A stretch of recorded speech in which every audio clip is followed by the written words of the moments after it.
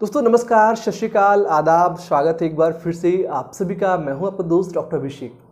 दोस्तों, एक सवाल बहुत से बच्चे मुझसे पूछते हैं कि, सर, जो बच्चे मतलब जिनकी फैमिली गरीब है, लाइक किसी के पापा फार्मर हैं, किसी के पापा ऑटो ड्राइवर हैं तो किसी के पापा छोटी सी शॉप चलाते हैं, किसी पापा की चाय शॉप है तो क्या ऐसे गरीब लोगों के जो बच्चे हैं, वो डॉक्टर बन सकते हैं? अगर आपका भी सेम सवाल है तो इस वीडियो को आप एंड तक देखिएगा। मैं आपके हर डाउट को क्लियर करूँगा, क्योंकि बहुत सारी भ्रांतियाँ हैं समाज में। जब भी आप बात करते नीट एग्ज़ाम को लेकर तो बोलते हैं कि बहुत टफ होता है, बहुत पैसा लगता है इंग्लिश मीडियम होना कंपलसरी है। ऐसी बहुत सी बातें आपने सुनी होंगी, लेकिन जो सच्चाई है, वो इन सबसे अलग है। क्या सच्चाई है, मैं आपको बताऊँगा, और ये भी बताऊँगा कि आप कैसे घर पे रहकर एक गरीब बच्चा, एक फॉर्मर का बच्चा, एक चाय वाले का बच्चा डॉक्टर बन सकता है, नीट एग्ज़ाम क्रैक कर सकता है। अब एक बात बहुत सिंपल सुनिएगा। नीट एग्ज़ाम पर हर बच्चे का अधिकार है। आप गरीब हैं, अमीर हैं डजेंट मैटर। आप किस मीडियम से हैं, हिंदी मीडियम, इंग्लिश मीडियम, वो भी मैटर नहीं करता है। हर एक बच्चा जिसने टेन प्लस टू को क्वालिफाई कर लिया है, या वो अपेयरिंग है, वो नीट एग्ज़ाम दे सकता है। इवन अगर आप गरीब हैं तो आपने गरीबी को पास से देखा है। तो आप किसी चीज़ से भागोगे नहीं। आपको मेहनत करना आता है, क्योंकि जैसे एक गरीब सरवाइव करता है, वैसे कभी एक अमीर का बच्चा सरवाइव नहीं कर पाएगा। आपके लिए एसी फ़ैन कूलर का मतलब नहीं है। आप जो है, कहते हैं कैंडल लाइट में भी आप पढ़ सकते हो। ठीक है? तो अब आप कभी इस मत सोचिएगा कि आप नहीं कर सकते हो। अक्सर आपने देखा जो भी लोग बड़े हुए ना, जो भी आज सफल है ना, सबने जो है, चाहे रोनाल्डो हो, चाहे मेसी हो, या जो कोई भी आपने देखा जो आपके आइडियल होंगे, सबके जीवन में गरीबी थी और सबने उससे फाइट कर कर जो है ना, आज वो सफल हुए हैं। क्या करना बता देता हूँ आपको?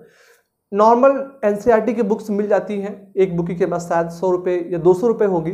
तीन बुक होती हैं मतलब दो फिजिक्स की, दो केमिस्ट्री की, दो बायोलॉजी छः बुक डेट मीन्स अगर आपके पास एक हज़ार या बारह सौ रुपये है तो आसानी से आप सभी नीट की बुक्स अरेंज कर पाओगे। अगर नहीं है तो आप फ़र्स्ट ईयर वाइज ले लीजिए। ठीक है?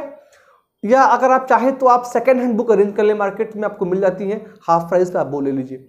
एक रफ कॉपी ले लीजिए। और मोबाइल आप सभी चलाते हैं, डाटा आप सभी के पास होता है। आप उस डाटा को यूज़ करना सीखें। बहुत सारे ऑनलाइन ऐप हैं जो मतलब आपको सोल्यूशन प्रोवाइड करा देते हैं। या जो आपका स्कूल का टीचर आप उससे मिल लीजिए। यूट्यूब पे बहुत सारे टीचर्स आपको फ्री क्लास देते हैं कंप्लीट सोल्यूशन देते हैं, एक वीडियो के माध्यम से पूरा टॉपिक फिनिश कर देते हैं।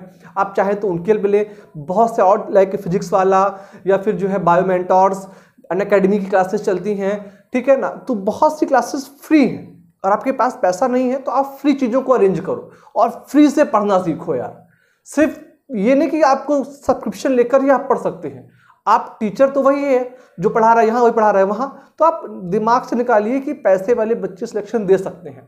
गरीब बच्चे सिलेक्शन दे सकते हैं, बस उनको मेहनत करना आना चाहिए। वो टॉपिक को पढ़ें, समझें। सिलेक्शन वही देगा जो पढ़ेगा, चाहे वो गरीब हो या अमीर हो। तो इस ख्याल को यहाँ से निकाल दें और एमबीबीएस की फ़ीस भी बहुत कम है। अगर आप गवर्नमेंट कॉलेज से एमबीबीएस करते हैं तो फ़ीस की भी चिंता को छोड़िए, पढ़ना स्टार्ट करिए, अच्छे नंबर लेके आइए, ताकि आपको काउंसलिंग में कोई ना कोई गवर्नमेंट एमबीबीएस कॉलेज मिल जाए। फिर क्या है कि आपकी जो भी दुख, समस्याएँ प्रॉब्लम है, सब आपके हाथों में होंगी। आप जब चाहे तब उनको दूर कर दें। जिस दिन आपका एमबीबीएस एडमिशन हुआ, उस दिन से आपकी अच्छे दिन आ जाएँगे। तो मेहनत करें ताकि आपको एम मिले और आपके पापा आज वो हार्डवर्क कर रहे हैं, उनको कल सुकून देना है तो आपको आज से मेहनत करनी पड़ेगी। इस वीडियो में इतना ही। आप सभी का बहुत बहुत धन्यवाद। थैंक यू सो मच जय हिंद।